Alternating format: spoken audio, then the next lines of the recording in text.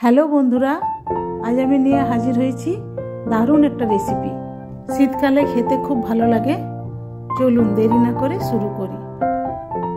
গ্যাসটা আমি জ্বালিয়ে দিয়েছি, একটা কড়াই বসিয়ে দিলাম। দিয়ে দিলাম এক চামচ জিরে আর দুটো শুকনো লঙ্কা। এগুলো আমি শুকনো খোলায় ভেজে নিচ্ছি। ভাজা হয়ে গেছে।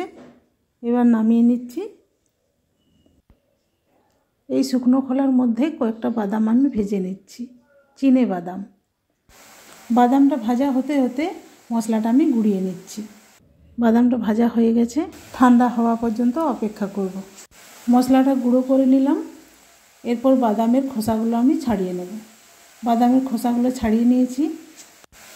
কড়াইয়ের মধ্যে দিয়ে দিচ্ছি আঁকের গুড়।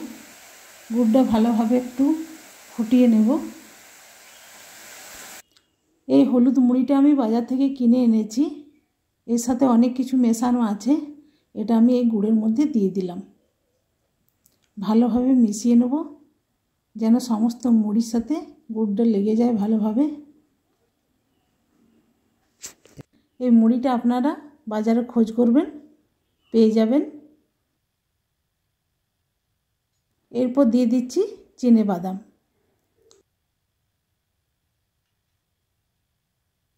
দিয়ে দিচ্ছি, গুঁড়িয়ে রাখা মশলাটা। মশলাটা আমি হামাল দিস্তাতে গুঁড়িয়েছি, যেন একটু গোটা গোটা থাকে, তাহলে কিন্তু খেতে বেশি ভালো লাগবে। এরপর ভালোভাবে সমস্ত কিছু মিশিয়ে নিচ্ছি।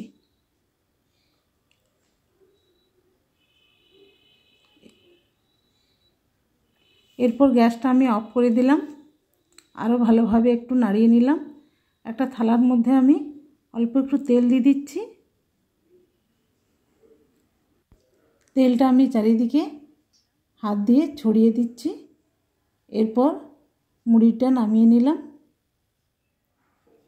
এই গরম অবস্থাতে অল্প একটু যেন ঠান্ডা হয়, যেন নাড়ুটা পাকাতে পারি সেইভাবে প্রত্যেকটা নাড়ু আমি এইভাবে পাকিয়ে নেব। আমার এই রেসিপিটি যদি আপনাদের ভালো লেগে থাকে, তাহলে লাইক করুন, বন্ধুদের সাথে শেয়ার করুন। কেমন হয়েছে কমেন্টের মাধ্যমে জানাবেন। আমার চ্যানেলে যারা নতুন হয়ে আছেন অবশ্যই সাবস্ক্রাইব করুন।